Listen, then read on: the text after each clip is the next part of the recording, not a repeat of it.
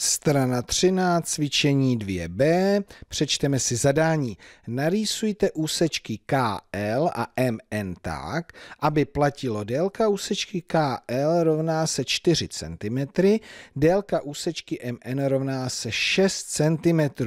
Úsečky graficky odečtěte a proveďte zápis. Začnu s náčrtkem, takže dvě úsečky KL KL a ta má měřit 4 cm a úsečka MN 6 cm, tak to bude trochu delší. MN 6 cm. Tak a já mám udělat grafický rozdíl, čili odečtěte. Takže si udělám přímou čáru, přímku, na ní přenesu tu delší, čili v našem případě je to úsečka MN, takže XY bude mít délku úsečky MN, čili 6 cm. A když mám dělat rozdíl, tak od bodu Y zpět nanesu délku úsečky KL, čili získám bod Z, tady to budou 4 cm a ten grafický rozdíl to bude tohleto. Délka úsečky XZ. 6 bez 4, 2 cm. Tak, jdeme na to. Konstrukce. Tak vezmeme si pravítko a postupně narýsujeme všechno, co jsme si řekli. Začneme tou úsečkou KL. Takže délka úsečky KL 4 cm. Tak, takhle.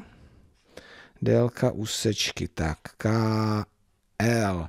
Délka úsečky KL rovná se 4 cm. Teďka budeme rýsovat dál úsečku MN.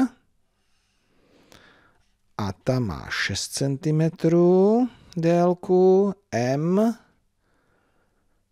a N6. Tak, no, takhle.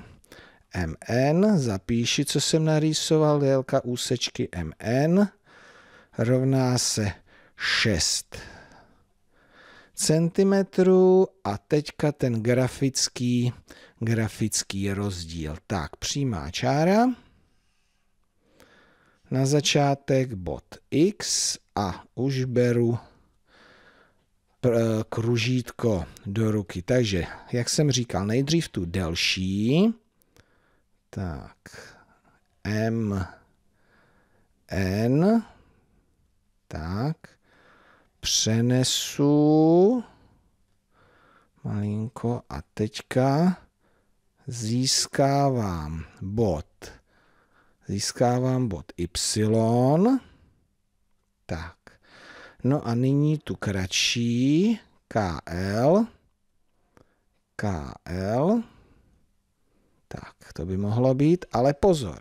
Kdybych narýsoval ten bod tady, dál, za, tak bych vlastně sestrojoval grafický součet, jenže já musím teďka dle zadání rýsovat rozdíl, takže já se musím vrátit a zpět.